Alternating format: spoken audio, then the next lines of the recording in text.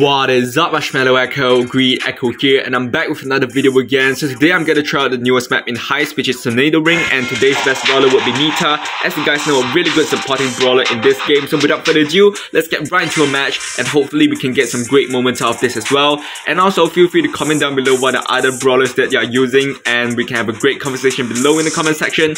And also make sure to subscribe as I'm trying to upload every single day on Brawl Stars and Clash Royale content. So if you guys are into these Supercell games, make sure to click the subscribe button as well as I'll be posting essential tips and also best brawlers and best decks for you guys to win in every event.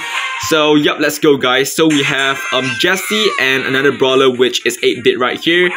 Um, hopefully we can um, have some great moments of this map. So um, gonna go in front right here. Okay, let's go.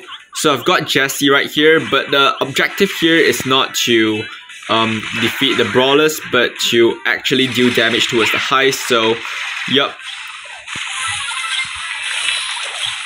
I'm gonna deal damage to this heist first, and I'm gonna drop the bear right here. There we go, guys. So, I'm gonna open a side feature and just deal as much damage towards the um, heist as possible. So, um, we are just dominating the game, guys. Oh my god.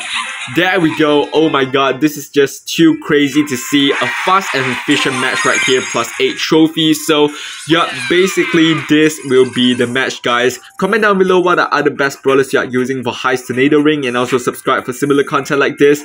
And I'm gonna see you guys in my next video. Goodbye.